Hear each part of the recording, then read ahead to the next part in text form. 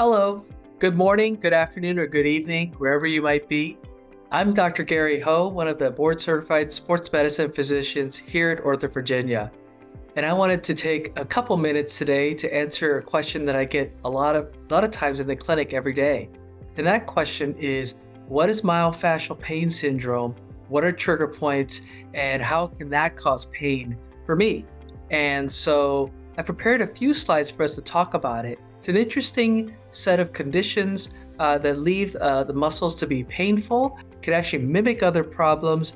Uh, and uh, there's some good news here. And the good news is that it's very amenable to treatment, but does require some time and effort on the patient's part in order to achieve the best outcomes. One of the first things I'll, I'll show here is basically what is a trigger point and what is myofascial pain. So, uh, if you could imagine uh, a muscle. And this is a lot more nuanced. There's a lot more going on here, but ultimately, the different problems, the different chemical issues that kind of uh, at the, are at the root cause of this eventually leave muscle fibers being a little bit hypertonic, meaning the tone is a little too high. You could think of that like a muscle spasm, but unlike a typical muscle cramp where an entire muscle goes into spasm, we have a couple of strands of muscle that actually go into a bit of a spasm or having too much tone.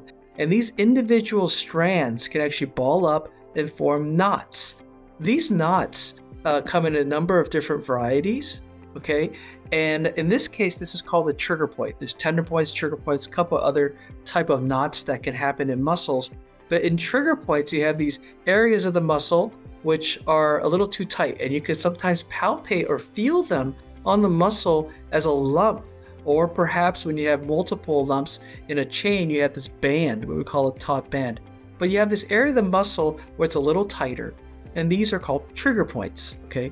And you can see that depicted here. So rather than, than the entire muscle, you just have a couple of strands that actually have this increased tone or in a way kind of like a cramp. These trigger points are they can be chronic, they can cause pain, and they can cause pain not just in the muscle, but can actually refer pain away from the muscles uh, and far away from the muscles.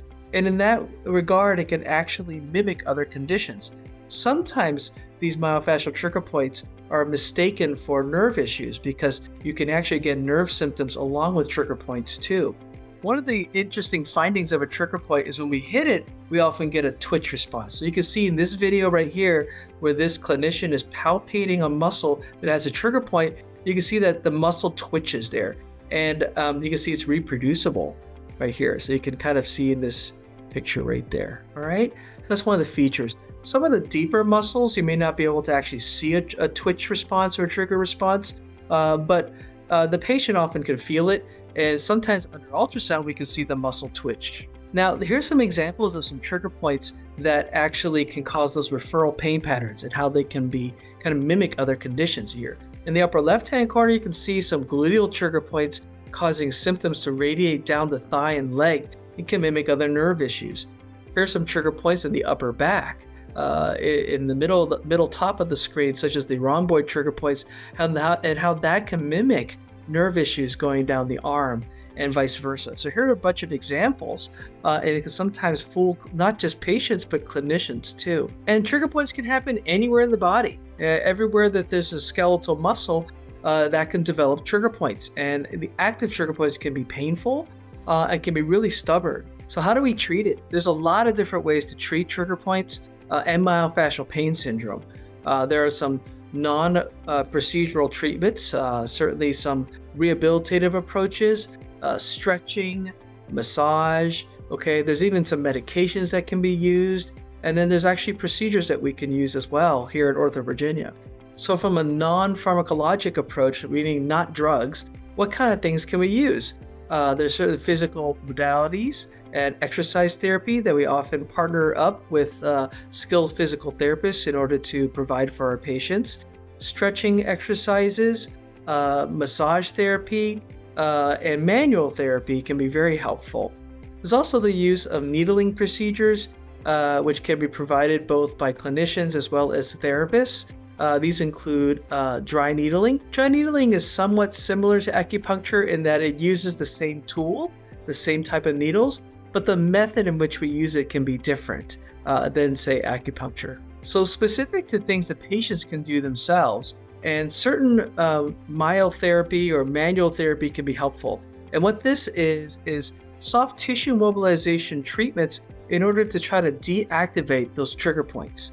So, for example, um, massage therapy or self massage therapy or self care at home. Uh, and I often uh, suggest that patients uh, not just use a, a skilled massage therapist, but build a home massage self care program that they can employ themselves multiple times a week in order to really shut down these trigger points.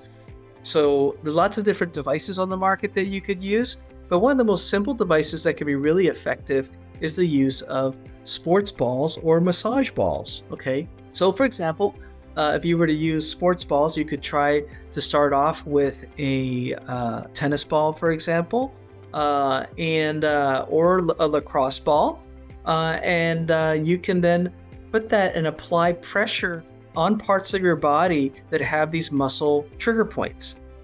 You can um, put them on a muscle and lean against the ball on a wall that would be one way to start here. So here's an example in the top middle of the screen of a patient using a massage ball on some gluteal trigger points. Okay. Uh, you can see some other examples elsewhere here.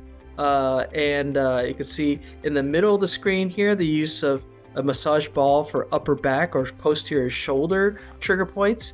So the idea here is actually to uh, increase the pressure in the muscle in order to help deactivate those trigger points.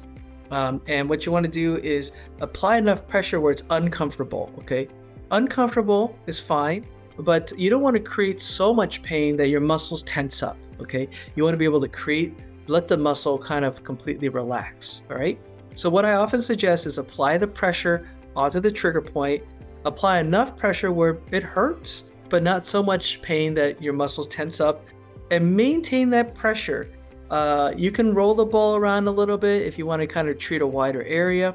But the idea is to maintain that pressure. Uh, and during that time, you want to take some deep breaths, relax. Imagine your muscles melting around the, the ball, okay?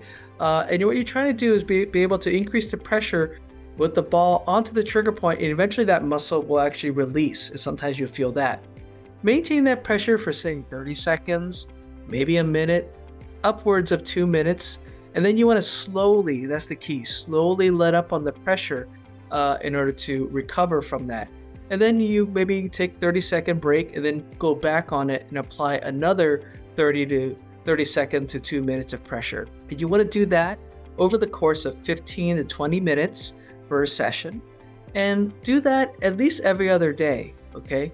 And what that'll do that'll do is you'll find that after your sessions, that you'll feel a little bit better. Okay. Um, and while initially that provides just temporary relief, uh, over time, over a number of weeks, you'll notice actually more long standing relief. Now, there's different ways to progress with this. You want to kind of start kind of light and easy and then build up as your muscles get accustomed to that massage therapy. Okay. So one way to start off is by, by leaning against the wall. Like and again, use this example of a buttock trigger point here. You see in that top middle of the screen, that patient is basically leaning against the ball on a wall. And one way to progress to make it more intense as your body adapts is to, is to then take it to the floor. And in the upper left hand corner, you can see a patient doing something similar with a trigger point myofascial uh, massage therapy session while using his own body weight. And that can increase the pressure that can be applied to that trigger point. Another way to progress would be to use harder and firmer and bigger balls. You might start off with a tennis ball. That's often nice and soft enough for a patient to tolerate. Uh, and then as you get more accustomed, you can go from a tennis ball to, say, a lacrosse ball. And again, you can progress from a lacrosse ball to, say, a baseball, or even up to a softball, which is as hard as a baseball but much bigger. With each progression, you increase how deep and how hard uh, the the ball is, but how deep you can actually dig in there and how much deactivating you can do to the trigger points. But be careful to make sure you progress uh, only when your body's ready, so that you don't bruise yourself. And you can see here some examples of both uh, using the, this, this technique on different areas of the body. uh, as well as for both uh, against the wall versus uh, on the floor. Um, and um, it's important to also make sure that you put it on muscle and don't put it on bone. And then finally, there are some things that we can do in the office here with certain procedures that can be helpful. Uh, in addition to dry needling, which is often delivered by skilled uh, therapists, such as a physical therapist, um, one thing that we can do as clinicians here at Ortho Virginia is a number of trigger point injection therapies uh, that we can do. Sometimes we're targeting trigger points in a muscle, sometimes we're targeting and uh, injecting along the fascial components of this condition. So while we're talking a lot about trigger points, the actual name of the condition is called myofascial pain syndrome. So with that, you know, I think that hopefully this has been helpful. Uh, if you think you have pain that, that's coming from myofascial pain syndrome or trigger points or other fascial restrictions, uh, come seek us out at Ortho Virginia, uh, where we've got a whole host of clinicians that can offer uh, treatments that can be uh, both including procedures, but also non procedural treatments and advice, uh, and also our skilled physical therapists. Which are uh, who are um, certified to provide dry needling as well, if needed. So with that, I hope that that's been helpful. Um, and I'm going to go ahead and stop sharing here. And uh, once again, if you think you have problems with this, please let us know. And I hope you have a great day.